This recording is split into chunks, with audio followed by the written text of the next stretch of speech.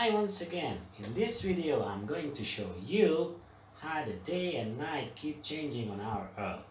And for that, first of all I'll need to get a model of the planet earth. This is called a globe. And as you already know, a globe is a round map of the earth. Its shape is like a round ball. And many of you probably also know that our earth keeps rotating around its axis just like this.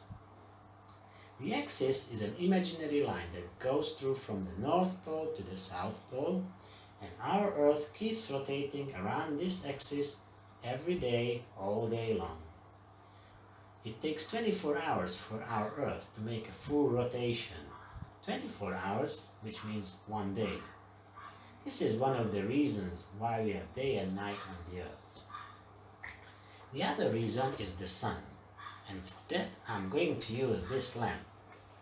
This lamp is going to represent our sun. Here you go. As you can see it's very bright and to imitate the circumstances to what it's like in the solar system, namely that the space is all dark and the only source of light is the sun itself, I'll need to turn up the light in this room.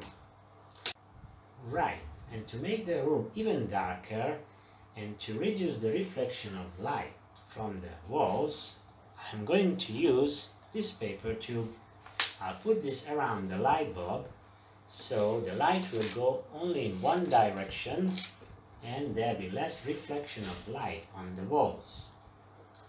And now let's bring back our earth to the picture. As you can see, something interesting is already happening here.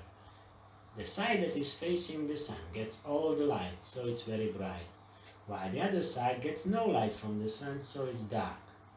Or in other words, on the side that is facing the sun, it's daytime now, and on the side that it doesn't get light from the sun, it's nighttime. As you can see, there is a clear boundary here between the day side and the night side of the earth.